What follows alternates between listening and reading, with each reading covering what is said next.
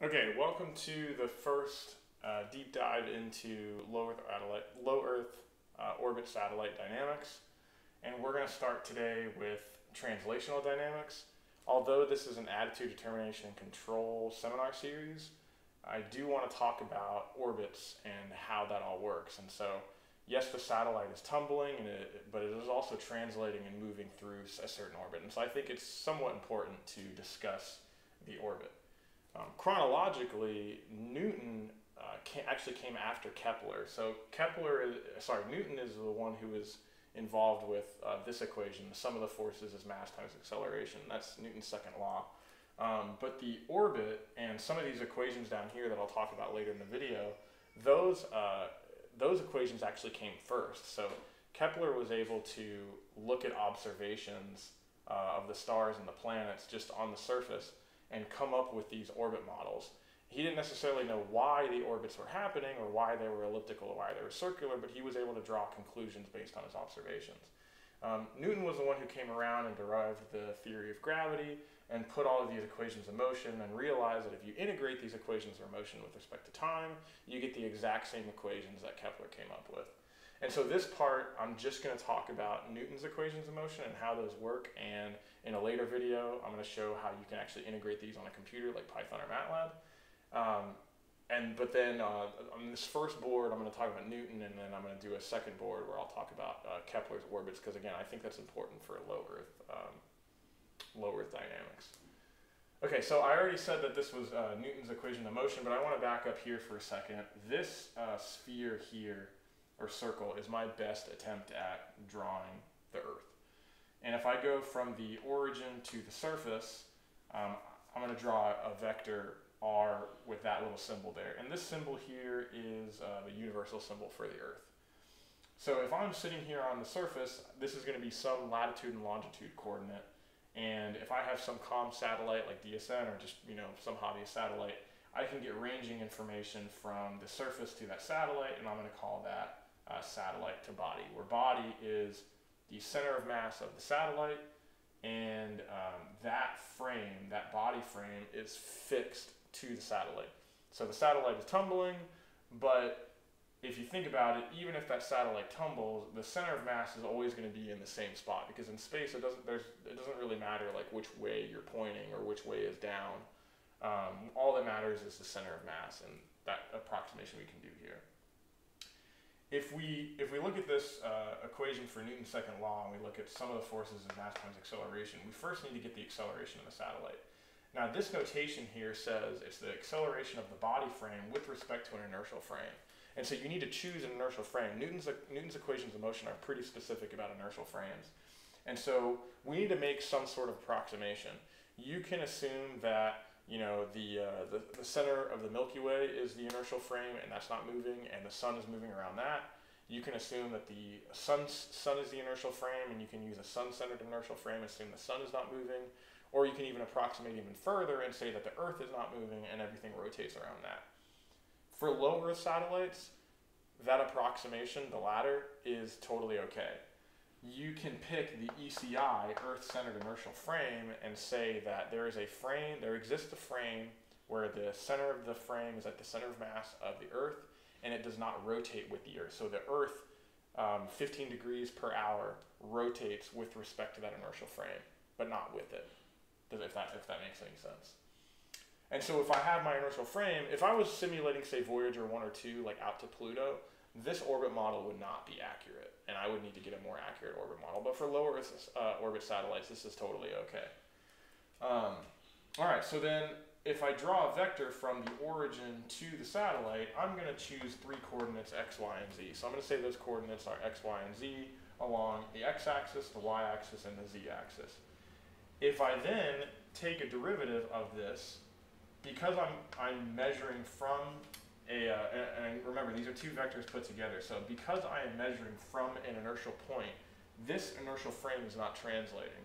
So the velocity of this point is just the time derivative of those three coordinates. So that's why I have x dot, y dot, z dot. The dot above it is the first time derivative. And then again, the acceleration is just x double dot, y double dot, z double dot. So that's just two derivatives to get my acceleration, which means that my right-hand side is done. You take mass times x double dot y double dot z double dot, and that is going to be equal to the forces there. And again, I'll show you in some later videos, you can actually put these equations into a numerical integration scheme, and you can actually integrate orbits. It's pretty neat, in my opinion. So now we have to deal with the left-hand side.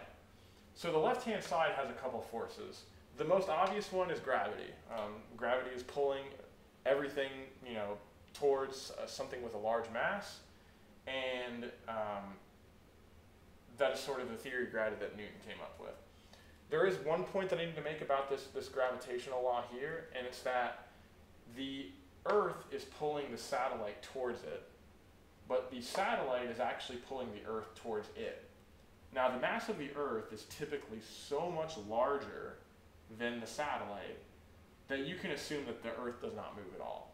Now, if you're doing like the Earth and the Moon, right, where the Moon is like, it's still smaller, but at least it has a pretty tangible mass.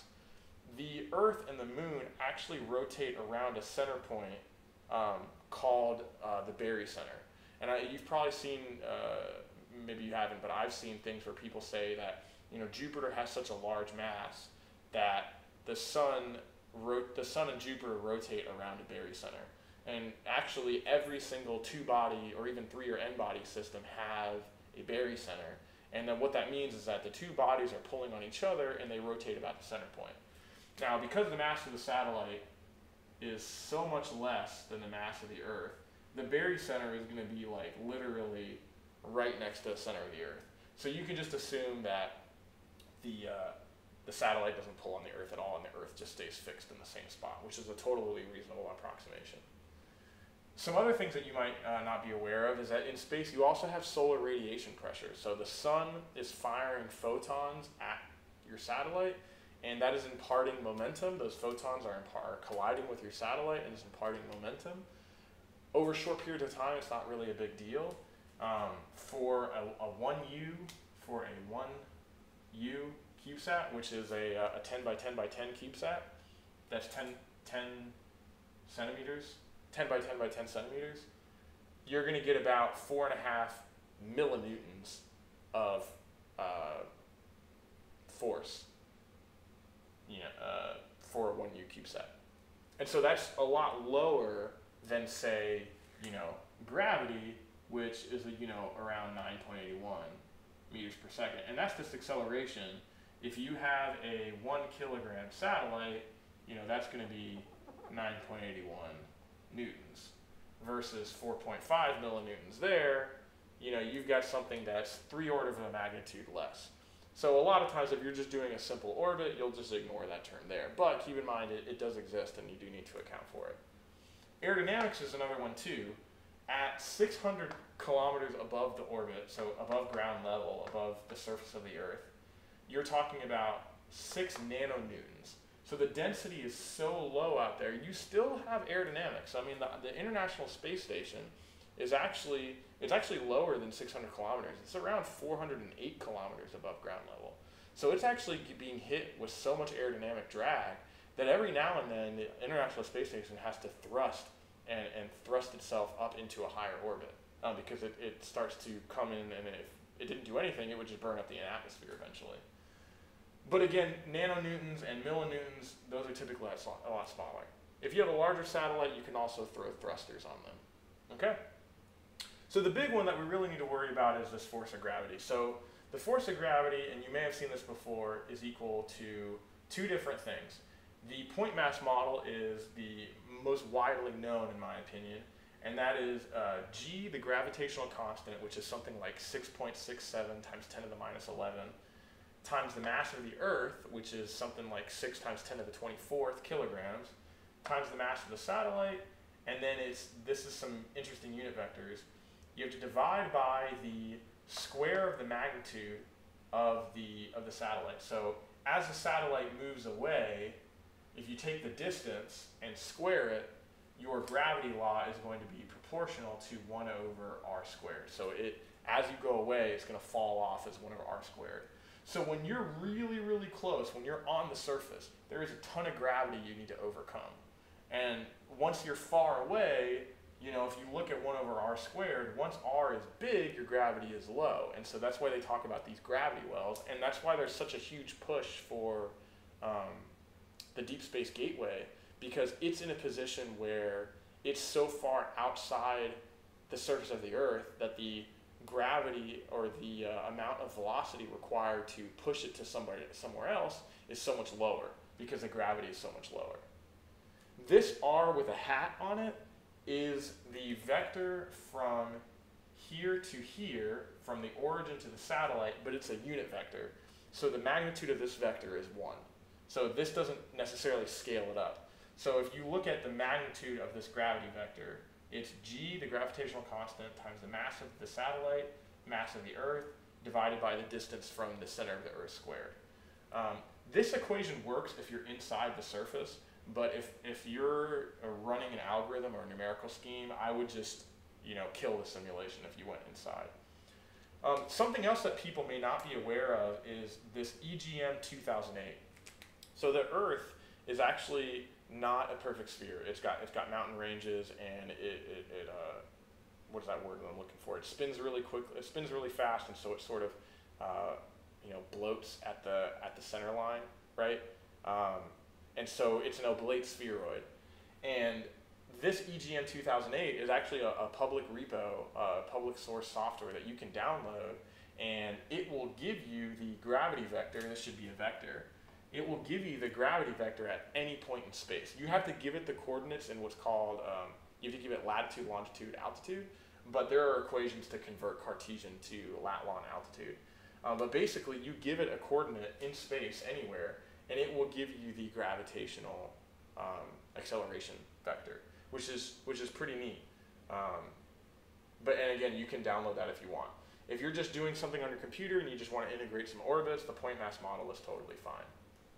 So the other things that I want to talk about in the orbit is that, again, when I was talking about Kepler and how he sort of came up with these orbits, is that if you have a low Earth satellite that's in some circular orbit, you're going to be some radius away from the center line, if you are in a perfectly circular orbit, you can actually compute the velocity required at that circular orbit um, using this equation here, square root of mu, where mu is equal to the gravitational constant times the mass of the Earth, square root of that divided by the distance from there.